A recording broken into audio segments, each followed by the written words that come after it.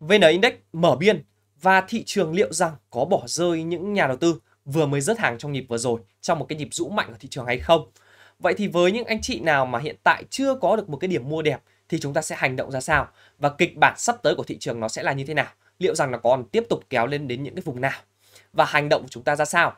Mua bán những cổ phiếu cụ thể như thế nào thì trong video ngày hôm nay, mình sẽ cùng các anh chị giải đáp những cái thắc mắc. Và lần đầu tiên thì mình xin chào các anh chị đang theo dõi kênh YouTube của mình. À, với các anh chị nào đã theo dõi minh trong xuyên suốt những cái nhịp vừa rồi thì chắc chắn là chúng ta không quá là uh, bất ngờ với cái phiên bật tăng ngày hôm nay. Nó là một cái phiên mở biên, là một cái vẫn là một cái uh, phiên mà mình đã trao đổi trước với các anh chị và mình đánh giá nó rằng đây nó là một cái trạng thái cần thiết của thị trường đúng không? Để làm sao? Để nó xác nhận cho chúng ta những cái trạng thái đáy và tiếp tục kéo lên những cái vùng cao mới. À, với cái trạng thái của thị trường hiện tại thì chúng ta cũng có thể nhận thấy là uh, thị trường sau khi mà nó rũ về vùng 1240 đúng không? Là một cái vùng mua mà mình luôn luôn nhấn mạnh với các anh chị là chúng ta cần phải có những cái trạng thái mở mua ở những vùng này. Được chưa? Đặc biệt là sau cái phiên mà nó có những cái trạng thái rút chân như thế này thì chúng ta càng phải chắc chắn về cái nhận định của chúng ta. Được chưa? Đó chính là nó có những cái nhịp rũ, đúng không? Nó rũ rất là gấp gáp để loại bỏ hết những nhà đầu tư nào trong những cái nhịp mà vùng 1280, 1290, 1300 vừa rồi đu bám đúng không ạ? Thì nó sẽ cần phải có một cái trạng thái nó rũ đúng không? Nó sẽ rũ rất là nhanh để những ai mà đánh ở những cái nhịp vừa rồi gần như là không ăn được gì thì chắc chắn là sẽ phải cắt lỗ ở đoạn này. Đấy các anh chị cứ theo dõi mà xem nhá. Những ai mà đánh muộn ở những cái đoạn này này đảm bảo sẽ phải cắt lỗ ở những nhịp này. Được chưa? Và cắt lỗ ở xong những cái nhịp này này thì nó sẽ đánh theo cái kiểu như là nó sẽ rút chân và nó sẽ mở biên để làm sao? Để không cho những cái nhà đầu tư đã thoát hàng như vậy có cơ hội để quay trở lại nữa. Bởi vì các anh chị chỉ cần tưởng tượng là uh, nếu như mà là các anh chị nhá vừa bán xong phát đúng không? Phiên hôm sau hồi rút chân, phiên hôm sau mở biên nữa, được chưa? Là cổ phiếu nó phải hồi đến 5 đến 7% thì không bao giờ dám mua lại. Được chưa? Và sẽ phải chờ, được không? Mà càng chờ thì nó sẽ càng kéo. Đây này, chúng ta nhìn này. Những cái trạng thái của thị trường này này, nó cũng tương tự với cái trạng thái này thôi. Chẳng qua là cái giai đoạn hiện tại là nó là thu nhỏ lại của cái của cái giai đoạn tháng à, 3 tháng 3 tháng 4 đúng không? Tháng 3 tháng 4 chúng ta cũng thấy một cái trạng thái của thị trường nó kéo lên. Được chưa? Và nó bắt đầu nó vào biên ngang đi rung giật sau khi mà nó tiệm cận đỉnh đỉnh cũ nhá thì nó cũng vào một cái trạng thái biên đi ngang rung giật được chưa? Dùng giật cứ kéo lên rồi lại giật xuống, kéo lên rồi lại giật xuống.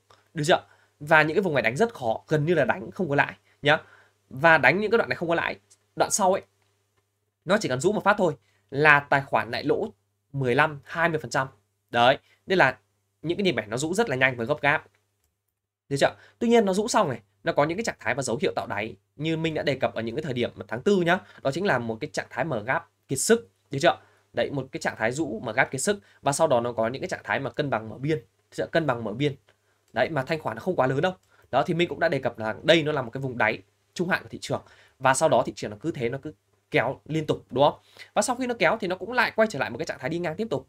Đấy, nó lại là những cái trạng thái mà nhà đầu tư ấy, những nhà đầu tư nào mà vừa cắt đáy đây này. Đấy. Đấy, cắt đáy nha. Đây mình à, biểu thị bằng à, cái này.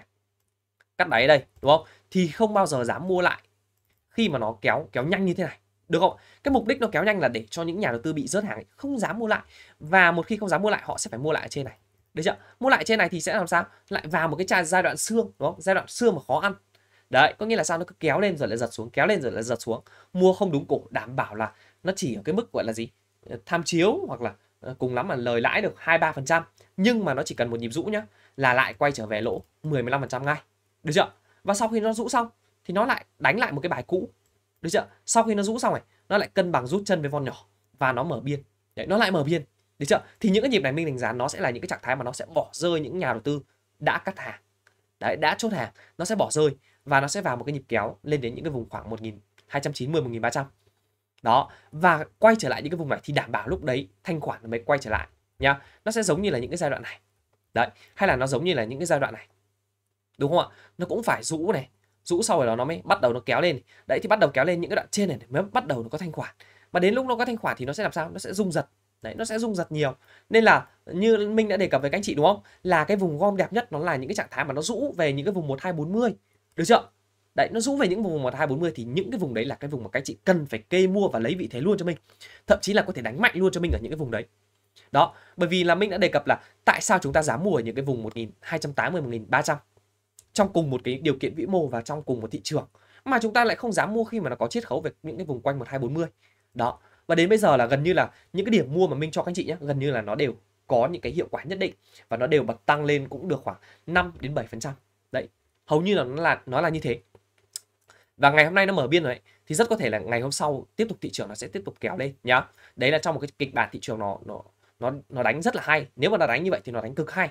Được chưa? Và đảm bảo với các chị lúc đấy nó phải nó có thể nó vượt 1300 và lúc đấy mới bắt đầu có những người đu bán nhá. Và đu bán lúc đấy, những lúc đấy thì nó lại khó khăn hơn thôi. Đó nên là mình đánh giá rồi. Những cái giai đoạn này của thị trường mà các chị chấp nhận là phải đánh đánh thật sớm được chưa? Bởi vì những cái vùng này cơ hội nó nó nhiều hơn là rủi ro. Đó càng đánh sớm càng tốt. Đấy từ những lúc mà thanh khoản nó chưa xuất hiện. Đó nó sẽ giống với cái kiểu đánh như là trạng trạng thái này của thị trường này. Đấy chúng ta nhìn này. Những cái trạng thái mà thị trường sau rũ này nó có những nhịp phục hồi và nó đi ngang phục hồi đi ngang xong nó làm sao? Đấy, nó có những cái trạng thái gọi là gì? Kéo giả được chưa? Bùn cháp và sau đó rũ thật mạnh, rũ thật nhanh và mạnh. Thì chắc chắn những ai mà đu bám ở những cái vùng đi ngang này, đảm bảo là sẽ phải rớt hàng ở những cái nhịp rũ này, nhá. Đặc biệt là sau cái phiên mà nó rũ thủng MA 50 đấy, hiện tại của thị trường nó cũng có những cái phiên rũ thủng MA 50 đấy, và rất nhiều người đề cập là nó sẽ rũ về những cái vùng 1100 à, đấy, đúng không? Nhưng mà mình thì lại đi mình thì lại đăng video và trao đổi ngược lại với thị trường, đúng không? Là mình cho rằng những cái vùng này, nó là những cái vùng đáy rồi và chúng ta cần phải tập trung đánh luôn từ những cái vùng như vậy. Đó. Đấy, chứ đừng để đến cái lúc mà nó làm sao nó cứ mở biên nó kéo như thế này. Đây, những cái trạng thái mở biên này, đúng không? Đấy, mở biên như thế này. Đấy, mở biên như này, mở biên như thế này. Thì làm sao mà lúc ấy mới mua được nữa? Đấy, và rất có thể nhá, thị trường mà nó kéo như vậy thì mọi người sẽ lại phải đu ở những vùng này thôi. Đấy, những cái vùng này sẽ là những cái vùng mọi người đu thôi. Và đu xong nó sẽ làm sao? Nó lại rũ. Đấy cái khắc nghiệt của thị trường nó sẽ là như vậy. Và chúng ta nhìn ở trong cái, đây, đấy là về bối cảnh của thị trường nhá. Còn về trạng thái của cổ phiếu, thì chúng ta thấy là, ví dụ mình đề cập thôi, nếu mà các anh chị không có cái sự lựa chọn cổ phiếu nó nó chuẩn ấy, được chưa? Đây này. Những cái thời điểm này này, mà chúng ta không không không không đánh được ấy. Đấy, không đánh được những cổ phiếu kênh trên. Mình ví dụ như là HPG đi. Mình ví dụ nhá. Đấy, đoạn này mình sẽ tập trung vào những cổ phiếu kênh trên bởi vì sau những cái nhịp rung lắc ấy mà nó có những cái trạng thái mà nó kéo kéo lên như thế này được chưa? Thì chúng ta thấy là những con cổ phiếu kênh trên ấy nó sẽ là những cái cổ phiếu mà nó nó có đà tăng mạnh hơn được chưa? Và nó sẽ là những cái cổ phiếu rất dễ nó sẽ dẫn sóng hơn nhá. Đấy nên là thị trường phục hồi thì chúng ta phải ưu tiên đánh những cổ phiếu kênh trên trước. Còn những cổ phiếu kênh giữa ví dụ như SSI này này được chưa? Nó cũng chỉ là những cái trạng thái mà nó phục hồi từ từ đáy đúng không? Từ đáy. Đây sau những cái nhịp rũ này nó cũng bị rũ nền chứ. Và sau đó nó phục hồi này mặc dù nó có những cái phiên mở biên bật tăng uh, tăng trần luôn đấy nó có những phiên mở biên tập tăng trần và nó quay trở lại đỉnh cũ nhưng mà rồi nó cũng lại bị rũ. Nên là đối với những anh chị nào ấy mà đảm bảo với các chị là không có sự nhận diện sớm từ những cái vùng mà nó rũ thị trường về những cái vùng này này và nó rũ này rũ để loại bỏ nhà đầu tư ấy, mà cắt hàng cắt lỗ ấy được chưa? Đảm bảo là sẽ không bao giờ dám mua lại những phiên này. Đấy à, những phiên uh, này mà sẽ phải đợi đến những lúc mà nó ok nó bùng nổ như thế này đúng không? Mới bắt đầu là quan tâm lại được chưa? Và đu bám lại đây chúng ta nhìn này về thanh khoản chúng ta cũng nhìn thấy rất rõ đúng không? Là những cái đoạn dưới này không quan tâm nhưng mà những cái lúc mà sau phiên bùng nổ ấy, mới bắt đầu đu bám được chưa? Và đu bám xong nó mới lại rũ một cú nữa được chưa? Đấy. Thì đấy là với những trạng thái cổ phiếu kênh giữa. Nên là minh cho rằng những cái đoạn này chúng ta hạn chế đánh cho minh những cổ phiếu kênh giữa.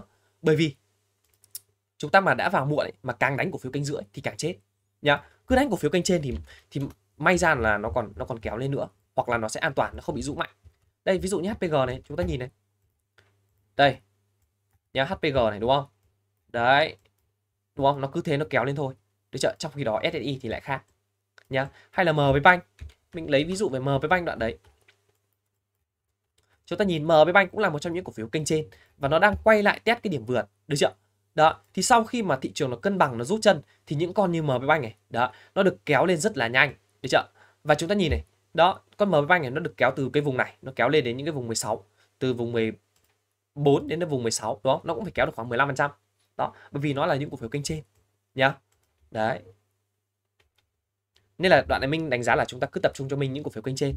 Thì ờ, thị trường nó phục hồi và nó có kéo lên nữa ấy, thì những con đấy nó sẽ làm sao? Nó sẽ chạy đà rất là nhanh. Đấy còn những mà chúng ta mà cứ bắt đầu lúc đấy mới bắt đầu là tập trung vào những con kênh giữa và mua đuổi những con kênh giữa ấy, thì rất có thể là chúng ta sẽ lại bị dính một cái nhịp rũ nữa. Thì đấy là là cái cái vấn đề mà mình muốn trao đổi với mọi người nhá.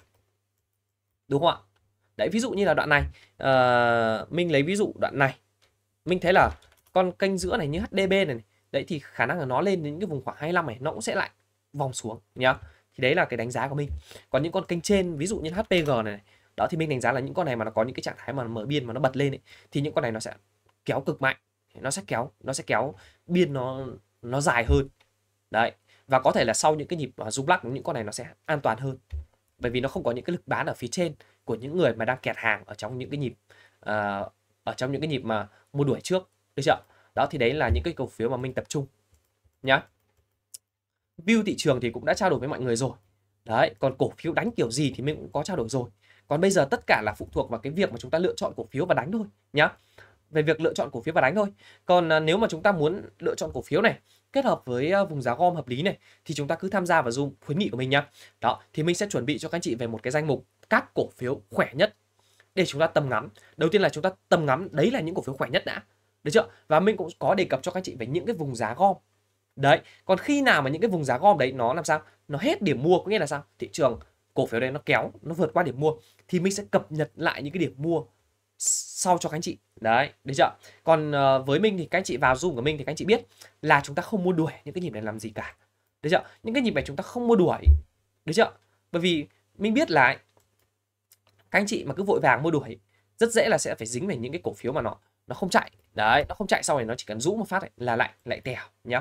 Nên là chúng ta cứ phải chuẩn bị trước những cổ phiếu nào khỏe chúng ta sẽ chuẩn bị khi mà nó có những cái nhịp điều chỉnh và giá nó không được chạy nó quá nhiều.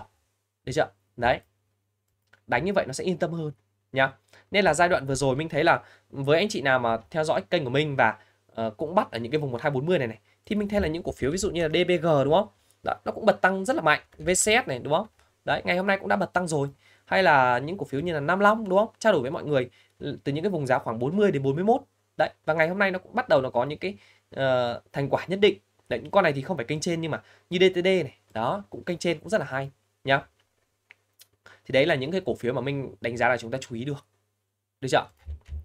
Còn là những uh, phần sau mình sẽ trao đổi với các anh chị về những cổ phiếu. Đây uh, mình sẽ đề cập với mọi người về những cổ phiếu mà chúng ta tập trung và những cái lưu ý mua khi mà thị trường nó tiếp tục mở biên nhé nếu mà tiếp tục mở biên chúng ta sẽ có cái cách mua như sau cho mình và chúng ta chỉ mua những cổ phiếu kênh trên cho mình nhé đừng có mua lan man những cổ phiếu kênh giữa và kênh dưới rất dễ dính vào những cái nhịp uh, bull nhá. Rất gọi là không phải nhịp bull mà là rất dễ những dính vào những cái nhịp mà nó nó kéo lên rồi sau đó nó chững lại. Đấy nó chững lại và nó không tăng mấy rồi sau đó nó lại rũ nhá. Thì coi như là chúng ta sẽ mất hết cả cái thành quả của cái nhịp mà nó thị trường kéo hồi như này. Đây là đoạn mà nó kéo hồi từ cái vùng 1240 đến vùng 1300 ấy. Thì mình đánh giá là chúng ta phải tập trung vào kênh trên cho mình thì nó sẽ tối ưu hóa được cái lợi nhuận nhá. Đấy thì đấy là ý kiến của mình. À, về kịch bản thì chắc là chúng ta không còn cái gì để nói nữa rồi đúng không? Nếu các anh chị nào mà chưa hiểu kỹ về kịch bản ấy, thì các anh chị hãy theo dõi lại những cái video trước nhá. Video nào mình cũng có nói kịch bản rất là rõ ràng. Còn uh, trong video này thì chắc là mình sẽ chỉ trao đổi về những cái kịch bản sắp tới thôi. Còn những cái vấn đề từ trước thì mình sẽ tạm là không nói lại đúng không? Đó chính là thị trường hiện tại thì khả năng cao là nó sẽ quay trở lại 1.300 đấy thấy chưa? Và những cái nhịp kéo này thì đảm bảo là nó sẽ chưa có thanh khoản. Nó cứ phải lên những, những cái vùng 1300 nó mới bắt đầu có thanh khoản được chưa? Và chúng ta tập trung vào những cho mình những cổ phiếu kênh trên thôi nhá. Còn sau khi mà nó lên những cái vùng trên này này bắt đầu lại có những cái trạng thái FOMO ấy, thì làm sao? Nó sẽ lại xuất hiện những cái nhịp rũ. Đấy nó sẽ lại xuất hiện những cái nhịp rũ. Đấy. Và chúng ta cũng phải lưu ý cho mình là uh, khi mà thị trường ấy, nó bắt đầu nó tiệm cận nghìn ba và nó vượt được một nghìn ba cho chúng ta ấy, thì chúng ta phải tìm cho mình một cái nữa. Đó chính là chúng ta phải tìm được cho mình. Đợi xíu các anh chị đợi xíu. Đâu mất rồi. À, đây các anh chị phải tìm được nếu mà thị trường vượt nghìn ba này đấy và dũng này chúng ta phải tìm được cho mình là cái dòng dẫn. Đấy cái dòng dẫn của thị trường để thị trường có thể vượt nghìn ba đó chính chính là gì? Là dòng nào? Bất động sản hay là banh hay là chứng khoán hay là thép nhá. Chúng ta cần phải tìm. Còn hiện tại là mình đánh giá là thị trường khả năng nó sẽ cần những cái cổ phiếu trụ và đặc biệt là nhóm thép mình đang thấy là nó rất có tiềm năng nó sẽ đẩy thị trường trong cái nhịp này lên. Đó. Bất động sản mình cũng thấy được một số cổ phiếu ví dụ như là Nam Long hay là KDH được chưa? Hay là TCH đó tất bất động sản thì mình sẽ tập trung những con kênh trên này thôi chứ mấy con kênh dưới thì mình không tập trung đâu nhá. Đấy ví dụ như DIG hay là uh, Novaland các thứ mình không tập trung đâu mà mình chỉ tập trung những con kênh trên thôi. Còn uh, ví dụ chứng khoán thì chúng ta thấy là khả năng là nó sẽ kiểu như thế này. Uhm, mình lấy ví dụ. Uhm. mình lấy ví dụ. Ví dụ chứng khoán này thì mình sẽ view nó kiểu như thế này. Nó sẽ kéo lên này rồi lại rũ xuống này. Bây chưa đấy và sau những cái nhịp rũ này nó sẽ làm sao? Nó sẽ lại cho chúng nó sẽ lại rũ về những cái vùng mua mới. Bây chưa và sau đấy khả năng nó mới có sóng. Nhá. Chứ nó chưa có sóng luôn ở những cái nhịp này được. Đấy nó cần phải hấp thụ lại những cái nhịp rũ này của thị trường đã. Còn bây giờ thị trường nó cần nó cần kéo những cái cổ phiếu mà nó đang khỏe. Để các cổ phiếu đang khỏe thì nó sẽ được ưu tiên kéo lên trước. Đó thì đấy là là là là cái à, nhận định của mình. Còn cổ phiếu chúng ta tập trung sẽ là gì? Thì uh, mình sẽ uh, cho các anh chị về danh mục một số cổ phiếu mà chúng ta tập trung nhá. Danh mục một số cổ phiếu. Đây chúng ta sẽ lướt qua về danh mục ngày hôm nay bật tăng trước nhá. Ngày hôm nay chúng ta thấy là có LB Bank đúng không? Kênh trên nó tiếp tục bật tăng đó nói thật con này mình đánh giá là nó vẫn rất là ngon nhưng mà nhưng mà chia sẻ thật với các anh chị là mình không có điểm mua đối với những cổ phiếu như thế này đó bởi vì những thời điểm mà ngon ăn nhất ấy nó chính là những thời điểm này rồi chứ còn bây giờ bảo là để để xác định được những cái điểm mua ở đây này rồi để bật ăn lên bật ăn lên được khoảng vài phần trăm ấy thì nói thật là mình không cho các anh chị mua được bởi vì mua những cái vùng này nó chỉ cần sơ suất một tí thôi thì chưa? Nó vào những cái nhịp dụ ấy là các anh chị sẽ làm sao? Sẽ lại lỗ, lỗ ngược lại luôn. Được chưa? Nên là chúng ta xác định mua là phải mua từ những cái cổ phiếu mà nó đang ở cái nền tảng tích lũy tốt. Được chưa? Và nó phải có những cái điểm cân bằng đẹp. Ví dụ như là những điểm này. Đây nó là những cái điểm cân bằng lại này thì ok chúng ta mua lại ở những điểm này được. Nhá. Chứ đến vùng này là cao quá rồi, được chưa? Thì chúng ta thấy là nó vẫn cứ bật tăng mạnh như vậy thì chúng ta sẽ sẽ theo dõi những cổ phiếu nào mà nó có cái cách đánh nó cũng kiểu tương tự như thế này thì chúng ta học theo thôi nhá. NKG ngày hôm nay cũng ờ, bật hồi tốt này từ những cái vùng đáy này. Được chưa? Nếu mà nói về nhóm thép thì mình đánh giá là các anh chị nên đánh cho mình HSG hoặc là HPG nhé. Đó. Hình mình hiện tại thì mình đang tập trung vào HPG và HSG. HPG thì có thể là thị trường nó nó cần những cái trạng thái mở biên ấy, thì nó cần phải kéo những cổ phiếu trụ. Đấy và ví dụ như HPG nó đang tạo một cái nền tảng tích lũy như thế này. Đấy nó tạo một cái nền này, này. Nó là cổ phiếu kênh trên nhé, mà nó có những cái dòng tiền đây, hôm nay nó bắt đầu có cái phiên dòng tiền bắt đầu vào, được chưa? Sau nhịp rũ mà ngày mai rất có thể như mình thấy là thị trường này thị trường mai mà mở biên tiếp ấy thì chắc chắn những con HPG này nó sẽ làm sao? Nó sẽ bật tăng. Nó sẽ bật tăng. Đó, nên là mình cho rằng nếu mà bây giờ để nói về những cổ phiếu còn điểm mua, thì mình cho rằng HPG là một trong những cổ phiếu mà chúng ta cần tập trung nhá, và mua được. Được chưa? Đấy, còn cái view thì mình đánh giá là nó có thể kéo lên đến những cái vùng khoảng 32 nhá. Nó bây giờ nó chỉ cần có một phiên dòng tiền, hôm nay tiền mồi vào rồi, ngày mai có một phiên xác nhận, được chưa? mở biên xác nhận nữa. Đấy, có nghĩa là sao? Nó là cổ phiếu kênh trên rồi, mà nó mở biên xác nhận nữa thì cái vùng 32 nó sẽ là target của nó. Được chưa? Đấy. Rất có thể là nhóm thép cũng sẽ là nhóm mà sẽ sẽ sẽ kéo thị trường trong đoạn tới. Ngày hôm nay có SMC này bật tăng trần này đúng không? Đấy HSG này đúng không? Đấy những con HSG này cũng là cổ phiếu kênh trên. Đó thì hiện tại nó vẫn đang bám quanh MA20 thôi. Được chưa? Và nó test von nhỏ. Thì đây nó là những cái điểm mà chúng ta vẫn mua được nhé đấy thì mình đánh giá là nếu mà điểm mua chuẩn của nó ấy, nó phải là những cái vùng quanh 23 24 này này. Đấy là những cái điểm mua khi dụ. Được chưa? Còn bây giờ thị trường nó đang tốt thế này. Đấy, để mà bảo mua ở những thời điểm này thì mình cho rằng HSG chúng ta vẫn mua được và mua nếu mà mua ấy, thì sẽ mua dưới vùng 25 nhá. Vượt qua 25 thì thôi nhưng mà mình cho rằng là khoảng 24x chúng ta vẫn vẫn lấy vị thế và đánh được. Được chưa? Còn vùng ngon nhất ấy nó phải là vùng 23x này cơ. Được chưa? Đấy còn lỡ không dụ gọi là lỡ bị rũ không mua được ấy, thì chúng ta vẫn có thể tâm ngắm và lấy HSG những cái vùng mua thứ hai này được nhá vẫn mua được ở đây nó là cổ phiếu kênh trên mà. Mình cho rằng vẫn ổn nhá. Đấy còn anh chị nào mà kiểu lấy được ở những vùng vùng 23x này thì bây giờ gia tăng cũng ok nhá đó, HPG và HSG tương tự nhá. Đấy H, HPG chưa vượt qua 29 thì vẫn ok. Đấy, vùng gom của nó sẽ là 28 đến 29 đấy thì đấy nó sẽ là những cổ phiếu mà mình tập trung nhá. Thép rất có thể là nó sẽ là một nó sẽ có một nhịp sóng để để kéo thị trường nó nó vượt nó vượt lên đây này. Đấy nó quay trở lại nghìn ba nhỉ đấy, thị trường này rất dễ là nó sẽ còn nó sẽ còn đánh lên để nó bỏ rơi những nhà đầu tư nữa. VCS này cũng là một trong những cổ phiếu mà mình thấy thấy hay đúng không? Và đề cập mọi người mua ở những cái vùng 75 xuống 73 đúng không? Đấy 75 xuống 73 đấy. Đó thì nếu các anh chị nào gom được thì mình đánh giá là ok nhá. Con này chúng ta nhìn này nó vẫn đang ở một cái kênh xu hướng tăng và căn bản nó có một cái trạng thái nền tảng tích lũy chặt chẽ. Nó là một cái mẫu hình VCP được, được không ạ? Mẫu hình VCP này biên độ thu hẹp dần nhá. Và đây nó là những cái điểm xác nhận này dòng tiền vào này đi chưa? Dòng tiền vào đánh lên rất là rất là nhanh rất là mạnh. Và sau đó nó có những cái nhịp rũ. Nhưng mà chúng ta nhìn này, những cái nhịp rũ ấy, lực bán rất là yếu. Đấy con này lực bán không có nhiều. Đấy nên là bây giờ dòng tiền này nó chỉ cần vào nó cân lại một tí và nó đánh lên nó kéo lên ấy, thì lúc đấy nó nó sẽ kéo lên cực kỳ nhanh. Đó nên là những con này nói thật là chúng ta không thể mua được một cục nhưng mà chúng ta kê dần mua dần thì mình nghĩ là vẫn được nhá. Đấy những cái vùng này chúng ta vẫn mua được được chưa?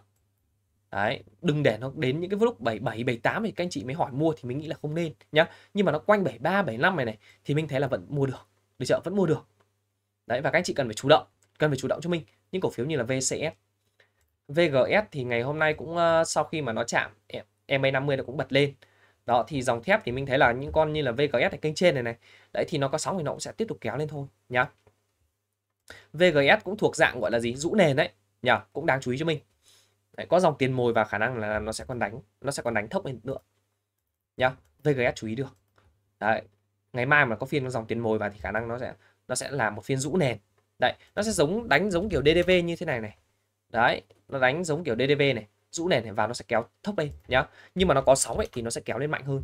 Nó mà có sóng dòng ví dụ như là HPG, HSG, NKG, VGS cùng bật tăng thì những con như VGS này nó sẽ còn bật tăng nữa.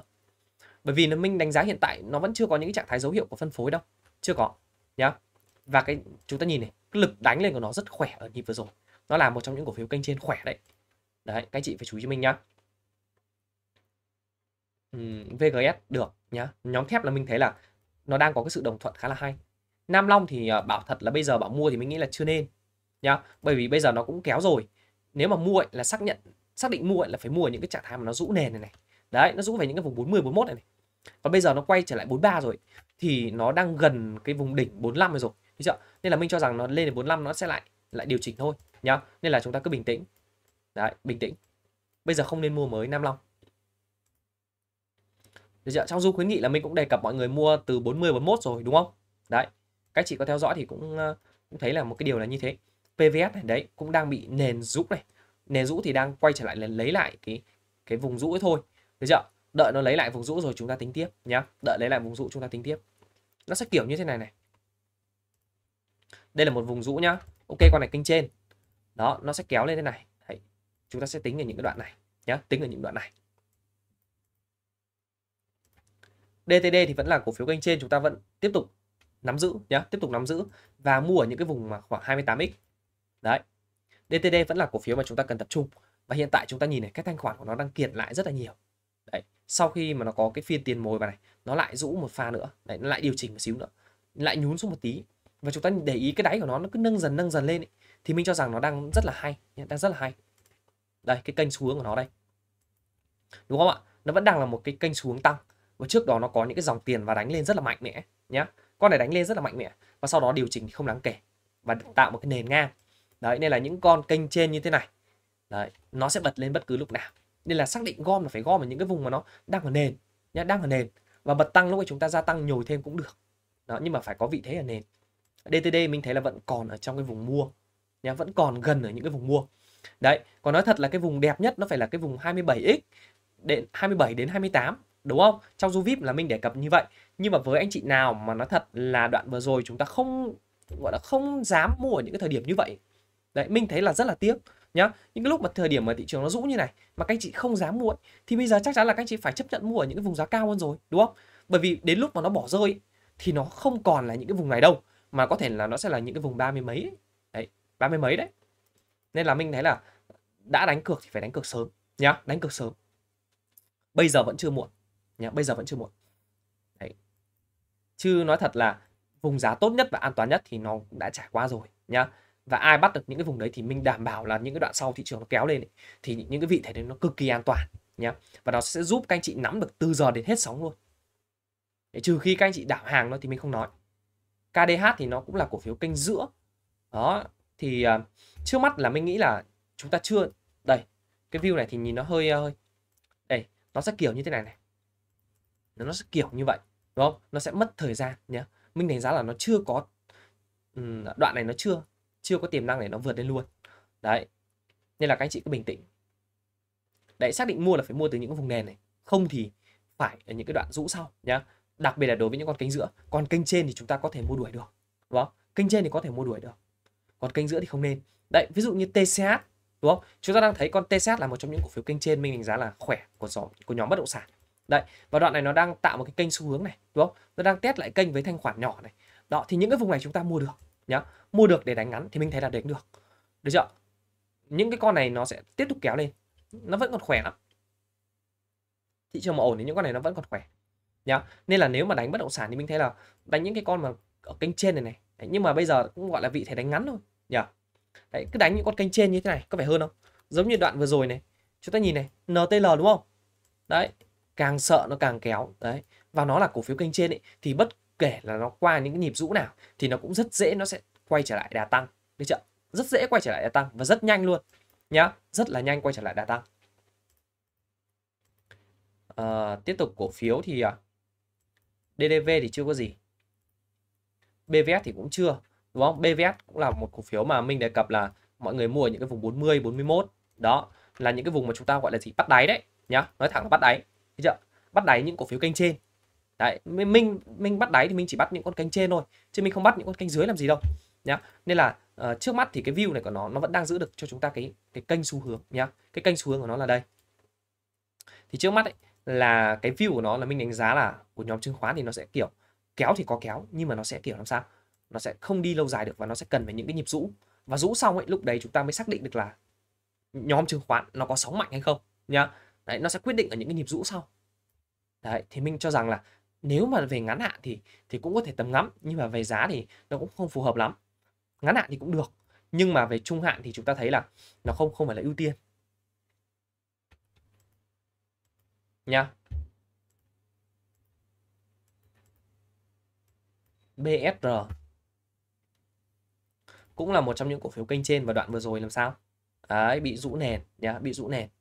Đó, thì nếu mà chúng ta lấy được ở những cái vùng 21x thì nó cũng là một cái vùng hợp lý nhá hợp lý. Đấy đó là chỉ tập trung cho mình những cổ phiếu kênh trên thôi. BFC thì cũng ổn này đấy cũng là kênh trên này. Cũng được.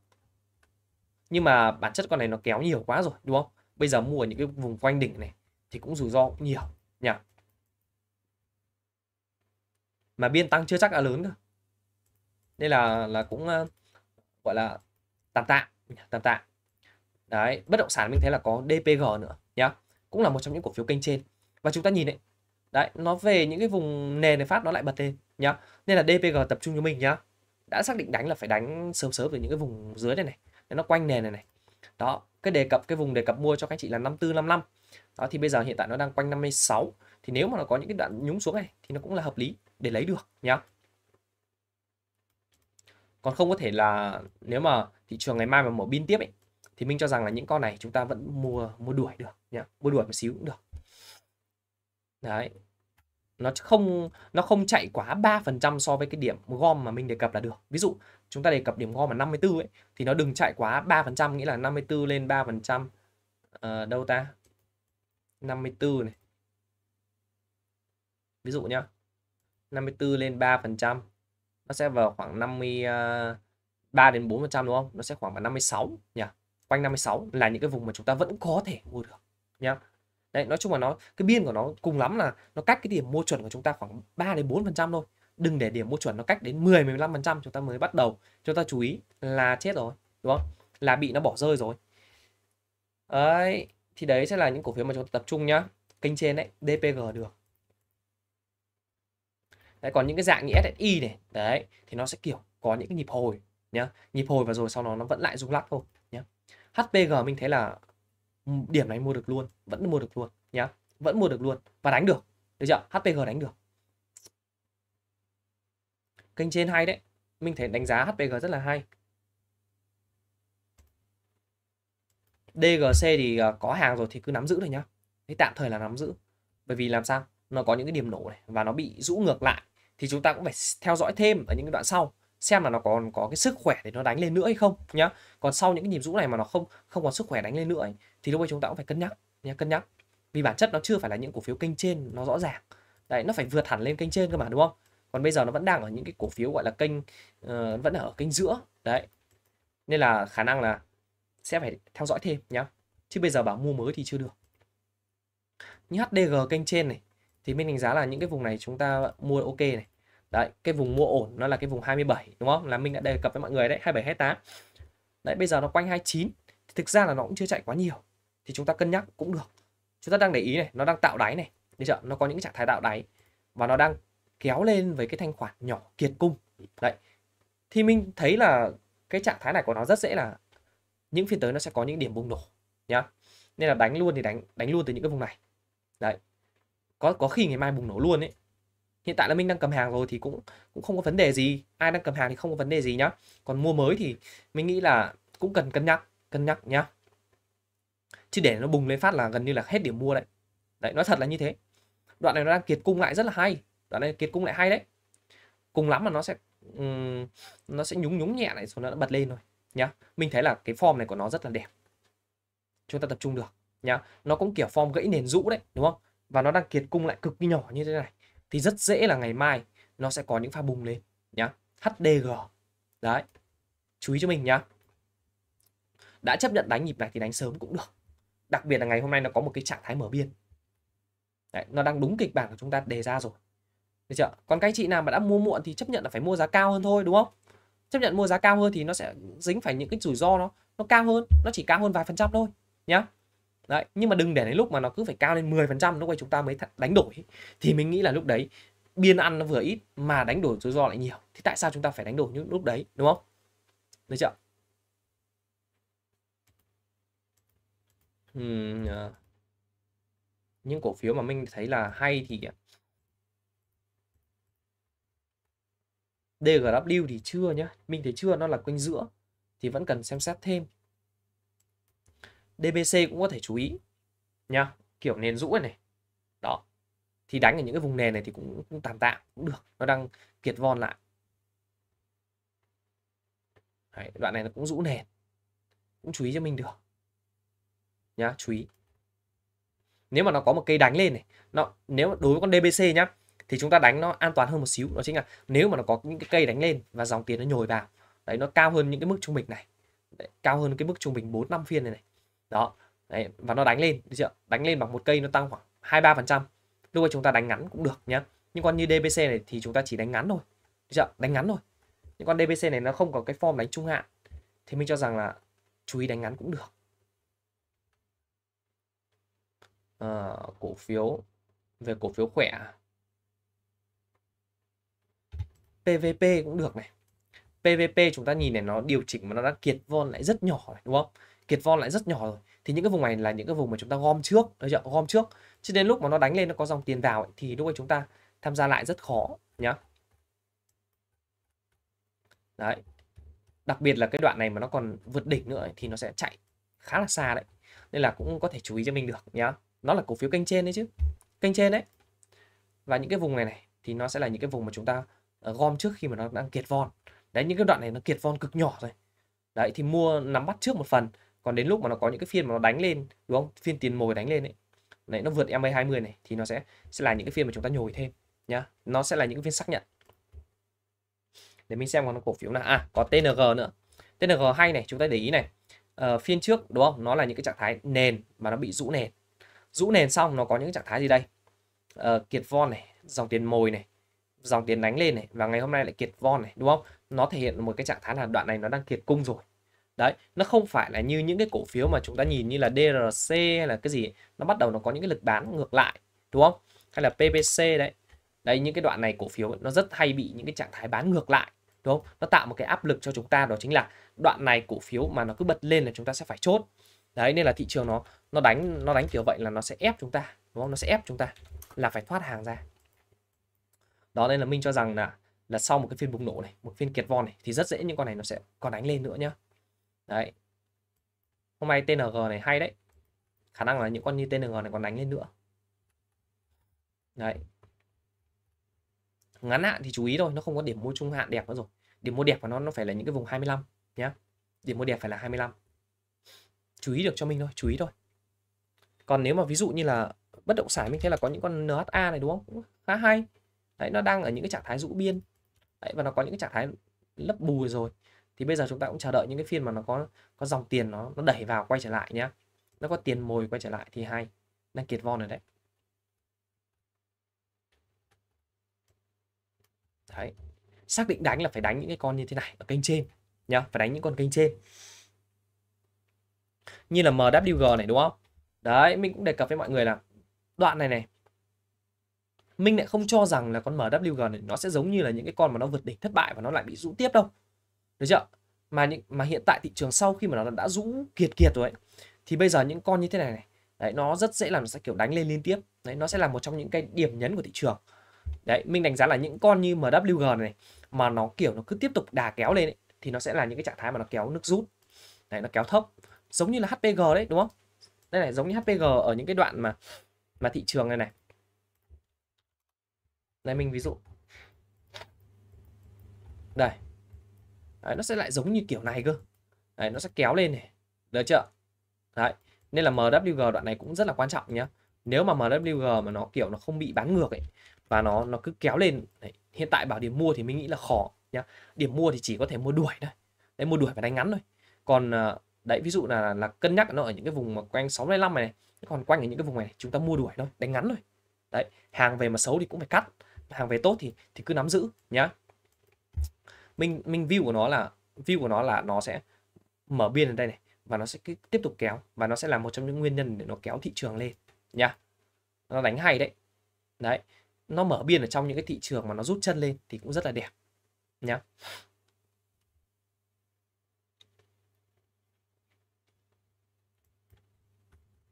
bây giờ chúng ta cũng, con MWG này nó nổ trước này, nó nổ đầu này. Đấy thì nó cũng có ý nghĩa quan trọng ở đoạn này đấy đó chính là nếu mà nó thành công ấy nó nổ thành công và nó cứ thế nó kéo lên ấy, thì khả năng là thị trường đoạn này nó chính xác 100% nó là đáy. Đó nên là các anh chị chú ý cho mình nhá. Nó cũng là một trong những con trụ hay để chúng ta theo dõi. Uhm. thì uh, đấy trên đây là toàn bộ những cái cổ phiếu mà mình muốn cho các anh chị tập trung. Được chưa? Nói thật đoạn này chúng ta tập trung ít cổ phiếu thôi nhưng mà quan trọng là chúng ta đánh hiệu quả. Còn cái vấn đề quan trọng nhất ấy là sau những cái gì mà thị trường nó kéo lên tiếp ấy lúc đấy chúng ta mới đi tìm cái nhóm ngành dẫn dắt, mới tìm nhóm leader. Để lúc đấy chúng ta sẽ làm sao? Cơ cấu và nhảy vào nhóm leader đánh là chính, được chưa? Và ăn cái đoạn này mới là chính này. Đoạn này mới là đoạn ăn nhiều nhất và dễ ăn nhất này. Đấy, nhưng mà để nó dễ ăn nhất là cái đoạn đầu này là chúng ta phải đúng. Chúng ta phải đúng đã, đúng không? Giống như là những cái đoạn này. Chúng ta phải đúng những cái đoạn này.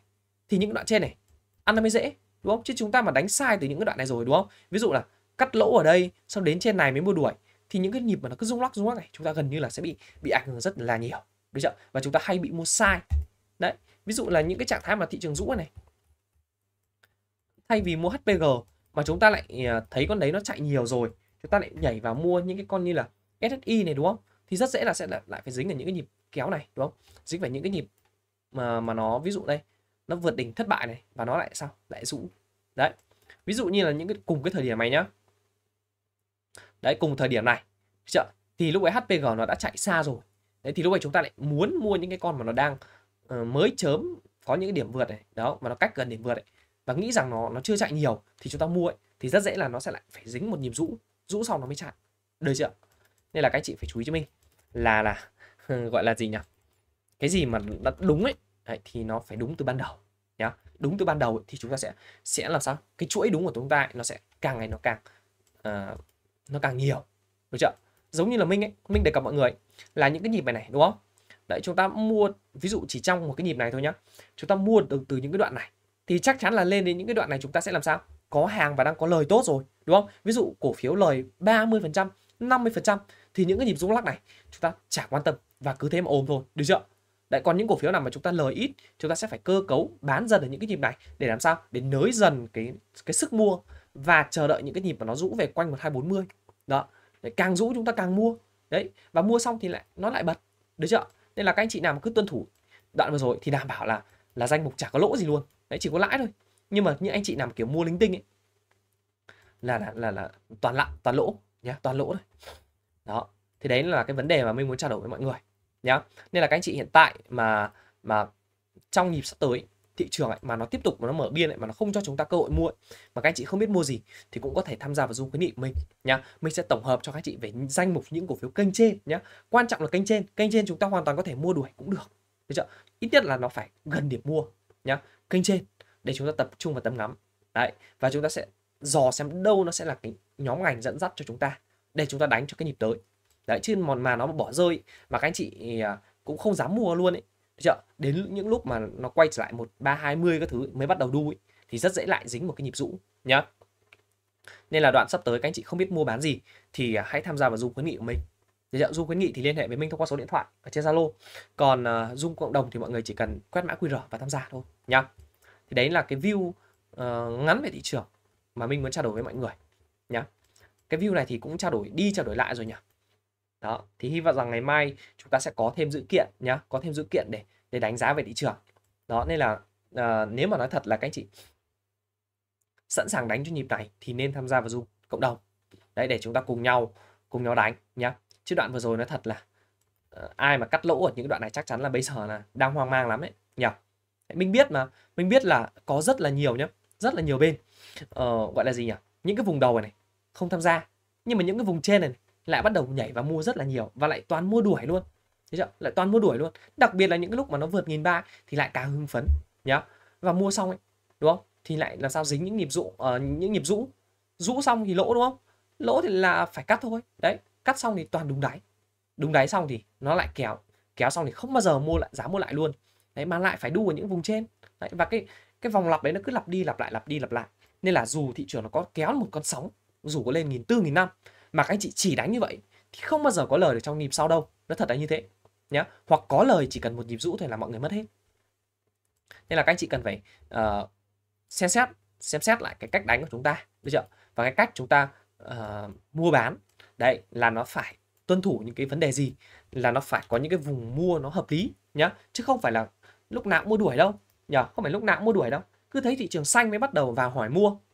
Đấy có những cái lúc mà thị trường nó cân bằng nó điều chỉnh đấy, nó điều chỉnh nó rung rũ thì mọi người lại không mua. Và cho rằng là thị trường lúc ấy nó sẽ lại còn còn xấu hơn nữa.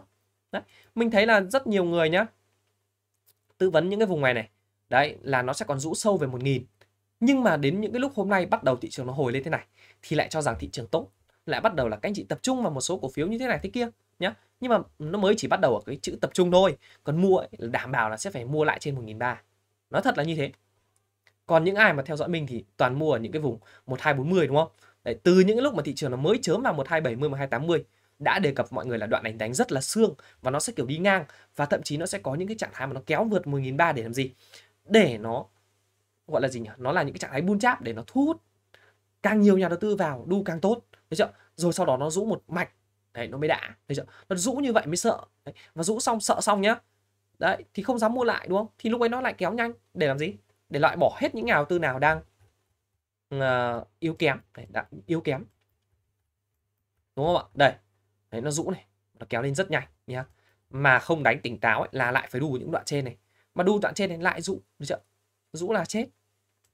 Đấy rũ là lại không bao giờ dám đánh ở những cái đoạn trên này là lại phải đu những đoạn trên nữa. Đấy, lại phải đu những đoạn trên nữa rồi lại ăn một cú, cú vả cực mạnh. Được chưa? Nên là uh, ờ, các chị cần phải uh, nghiêm túc trong cái quá trình đầu tư và phải xác định được là chúng ta ờ, đang ở trong giai đoạn nào để có được những cái cái phương pháp phù hợp. Chứ đừng có mà không có cái sự đồng nhất trong quan điểm, nhá. Không có sự đồng nhất. Ví dụ như là ở những vùng 128 1290 thì mua ồ ạt, mua ồ ạt. Cái gì cũng hỏi mua, cái gì cũng muốn mua. Đấy, và lại nhồi thật nhiều tiền vào để mua. Nhưng mà những cái lúc mà nó về 1240 thì lại làm sao? Hết tiền, hết cơ hội, đúng không? Và lại không dám mua. Đấy, đặc biệt là như thế. Bởi vì vừa cắt xong làm sao dám mua? Đấy ok nhá. Thì đấy nó sẽ là cái cái nội dung chính mà mình muốn trao đổi mọi người. Ok, bye bye mọi người và hẹn gặp lại mọi người trong những video sau nhá. Bye bye. Các chị muốn tham gia du cộng đồng thì quét mã QR hoặc ở bên dưới bình luận nó có cái link để các chị tham gia nhé bye bye mọi người.